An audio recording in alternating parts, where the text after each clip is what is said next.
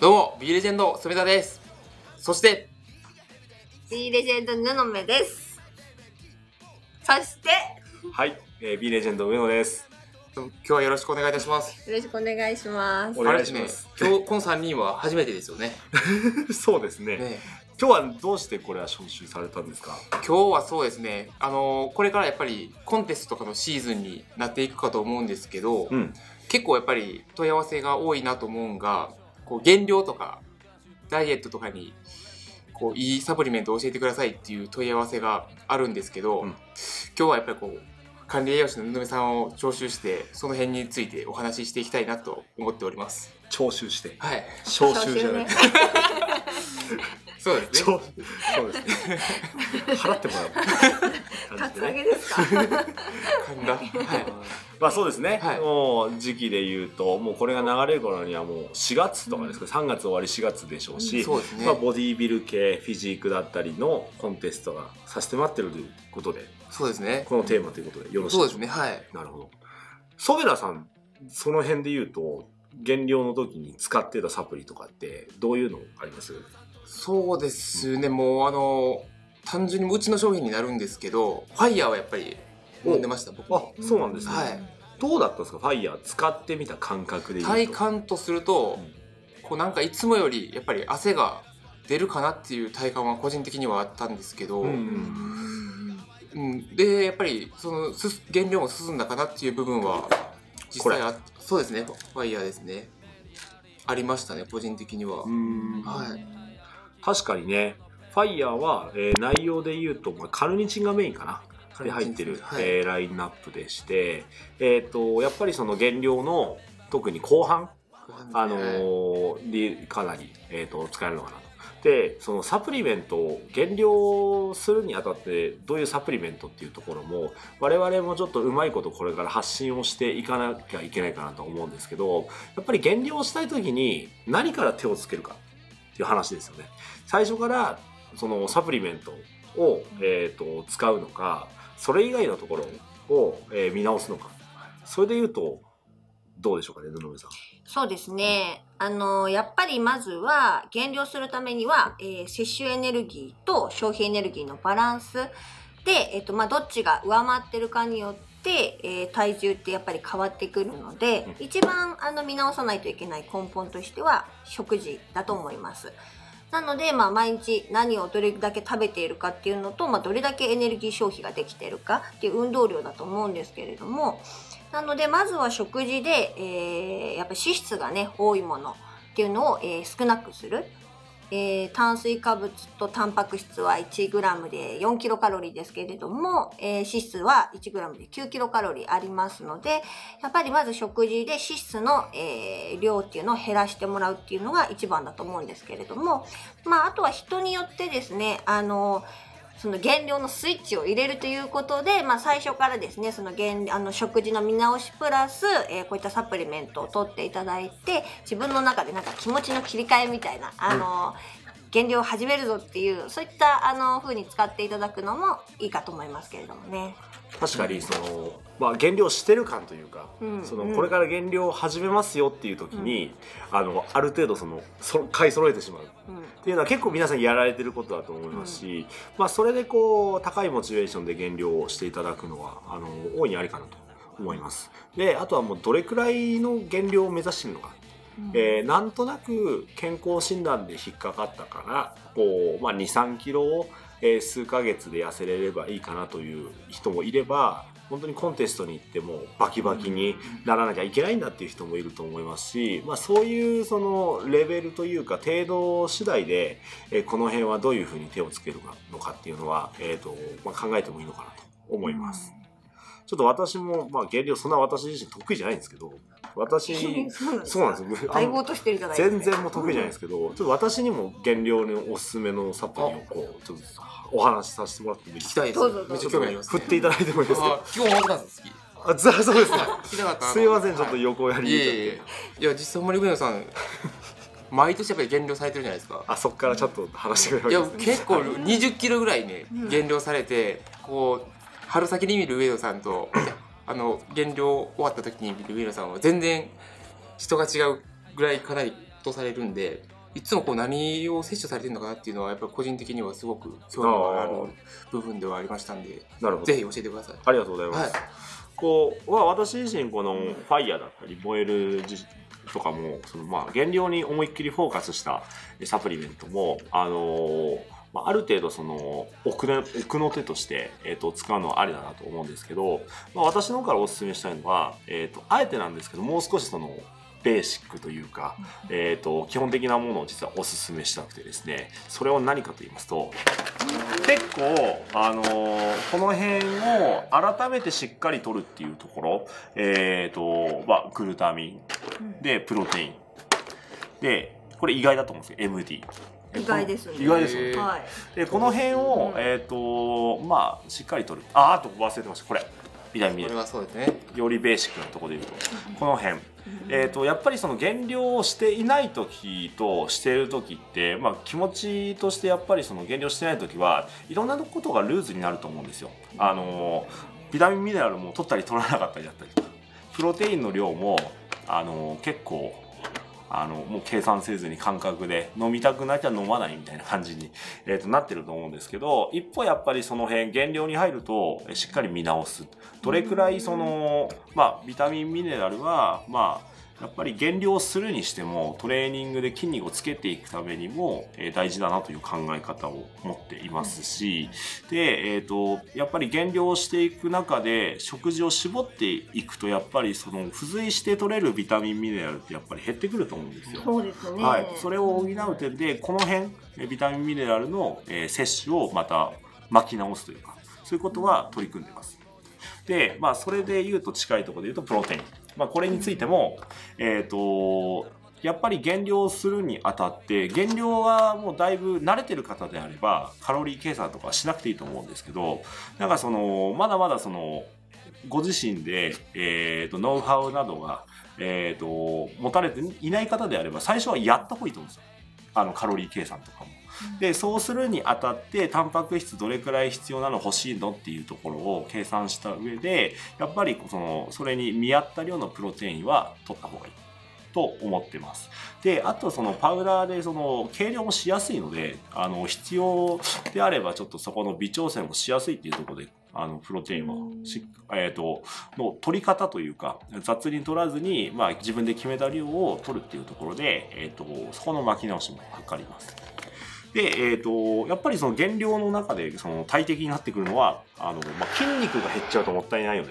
特にそのコンテスト出てる、えー人で言うと,、えー、とせっかく体重落ちたけど本当は見せたい筋肉がなくなってしまってはっていうところで、まあ、筋肉をある意味守ってくれるようなこの、えーグルタミン。でなおかつあの体重を落とすとあの体調も結構崩しやすいそうですね。こともあるじゃないですか。うん確かで実際にその減量を進めていく中で、えーとまあ、そんなに寒いわけではないけど風邪をひくような方だったり、あとある程度その体脂肪が乗っている時よりもやっぱりその、まあ、必要以上に体脂肪が減ってしまった場合って多分抵抗とか落ちてるんじゃないかなみたいなところってあると思うんですね。なのでそういったところを少しでもカバーしたいなというところで、えーグルタミン。これあと乳酸菌も入ってますもんね。あのそそうですね。減量中って結構腸内環境がそうですね。で、うんまあ、そういうところは目指せるアイテムなのかなと思います。で、結構ね、これはちょっとポイントなんですけど、減量中はグルタミンの量、気持ち多めに飲んでます。そう、大体その増量中、増量というか減量じゃない時、まあ、真面目にやってりゃ 5g くらい。まあ、たまにまあ飲まないこともあるんですけど、えっ、と、5g くらいを目安にしてるんですね、一食。まあ、それを気持ち、あの、10g までいかないけど、その一食での量をほんの気持ち増やすということは、えっ、と、試してます。はい。で、まあ、一番やっぱりこの話の中で気になるところ、こ MD。うんやっぱりその減量していくにあたってその糖質だったりはある程度その絞らなきゃいけないっていう感覚がおもお持ちだと思うんですね。うんでその中でもなんでこれを出したかっていうとえっ、とまあ食事で取るのもの糖質を食事で取るというのも一つですしこれパウダーで取るっていう方法。なぜパウダーかっていうと、まあこれもさっきのプロテインなんかと一緒で、まあ、計量がしやすいっていうところだったり、あと,、えー、と私の場合結構今今の場合だと結構夜とかトレーニングしてトレーニング終わったらもうすぐ寝ちゃうような生活をしてるんですね。その時にある程度固形物を入れたまま消化がこう不完全なまま寝るよりはちょっと粉物で済ました方がいいかなっていうところをちょっと考えて、ほど、はい、なるほど。そういうことでやってます。確かにそうですね。あのーね、運動のトレーニングの後って筋肉のあの合成が促進するって言われてるので、えーやっぱり炭水化物と、えーまあ、このマルトでキリストリンも炭水化物ですけれどもこれと、まあ、あのタンパク質プロテインが必要だと思うんですけれどもあの減量も同時にやってるってなると本当寝る直前っていうのはやっぱり良くないって、あの寝る前の3時間ぐらい前には食事済ませておきたいっていうのがあるのでそう考えると確かに、ね、マルトデキストリンだったら消化吸収のスピードも速いので確かに理にかなってますね。ちょっと傘があるものよりはね、うんなんか胃腸の負担は少ないままそうですね。ベッドに行けるかなとうん思って。で逆に朝トレーニングする日もあるんですけど、うんその時はもう、ね、朝起きたらすぐうんアミノ酸と一緒にこれ取っちゃってっていうところは、えーしてます。その減量中で結構これは減量初心者の方ありがちなのがフラフラでトレーニングできないと減量ちょっとカロリーを絞りすぎて。うん。そうなると本当元も子もないと思うんですよ。やっぱり減量の中では脂肪を落としていくっていうところもありますしトレーニングのあの強度というかは死守したい、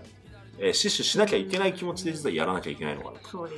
思って。うん。で、えー、とそういうところで、まあ、この MD これは正直使いようだと思います。あのトレーニングの前後っていうところに、うん。まあ、人によってはトレーニング中の、えー、とドリンクに混ぜるのもありだと思うんですけどその前中後っていうところにフォーカスして結構取り入れてる、えーところがありますね。なるほど、うん。そういう使い方がありますか。は。い。実はそう。あの糖質はもう全て悪ではないかなと。うん。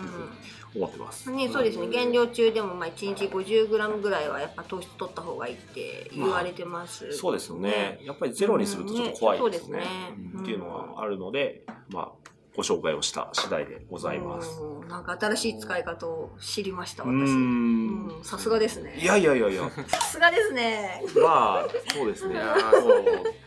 ちょっとこの白衣、この私着ようかな。そう着ちゃおうかな。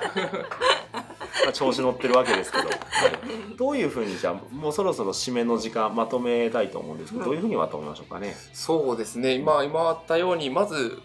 こういうさ燃えるとかファイヤーみたいなサプリメントもあるかと思うんですけどこの布さんとかが言ったようにこの消費カロリーと摂取カロリーの見直しっていうのもいいかと思いますしこう上野さんが今言っていただいたようなこうサプリメントを取り入れていただいてこう減量を進めるような形をとっていただいてもいいかと思います。はい、どうですか、布目さんの方から。そうですねやっぱまあいろんなあの方法があると思うんですよね減量にもなのでまあ自分に合ったものっていうのをまあいろいろ本当他の人の意見とか今までやったことないっていうものも取り入れてやってみるのもいいと思いますしそれで自分であのあまり辛くなくて一番いいそしてあの自分に体に合った、えー落とし方っていうのが見つかると思うのでぜひいろんなものを試していただきたいなって私は思いましたね。そうですね。だから私自身も今、布目さんがおっしゃったことだったり、染田さんがおっしゃったことだったりっていうのはおっしゃる通りで、えっ、と、まあ、減量はと本当に人それぞれな部分、多分教科書があって、教科書通りにやってうまくいく人といかない人が絶対に出てくる領域だと思うんですよ。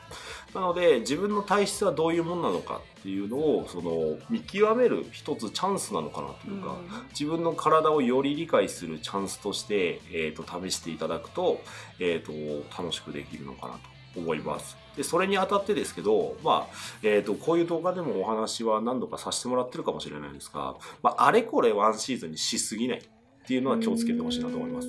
こうあれやってどこだこれやってどこだあの人がこの話をしてたからこれを取り入れようっていうのは極力シンプルにした方がいいと思います。なぜかっていうと、えーそれを試してその効果が出るまでのある程度やっぱり時間を見ないと、あの本当にそれが効果があるのかないのかって判断できないと思うんですね。なのでそういうトライアンドエラーを蓄積させるためにも、えーとまあ、ある程度やることは、えー、とワンシーズンで絞ってそれが失敗したらまあ、来シーズンはこう変えよう。だからシーズン単位でそこは見てあげるといいと思います。多分見てる方、若い方も多いだろうし、で若い人はこの先何十年歴を重ねていくんだと。その中の、まあ、1年、2年を、こう、いろいろ試して、いたずらに過ごすのか、あの、ある程度、まあ、エラーがあって、それを、エラーを蓄積させる1年にするのかっていうのは、ちょっと考えてもいいのかなと思います。はい。っていうわけで、ちょっと、まあ、締めという割には長くなっちゃったんですけど、最後。このね動画をまあ参考にしてこれからねコンテストシーズンの方もおられるかと思いますしこう海に行きたいからかっこいい体を手に入れたいっていう方もおられるかと思いますんでねぜひこうこの動画がね参考になればと思いますそういたしましたらねこちらの動画が良かったっていう方はグッドボタンチャンネル登録の方よろしくお願いいたしますはい。それあ、ちょっとコメントも、ちょっとまた募り締めさせて。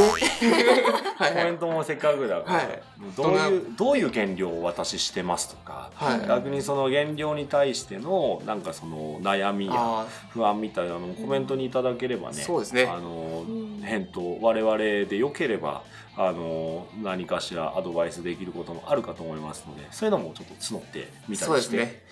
いきましょうか。ぜひコメント欄の方にコメントの方お願いいたしますはい、じゃあもうこちらでいいですかね はい、もう大丈夫です言うことないです。はい。それでは皆さんまた会いましょう。さようなら。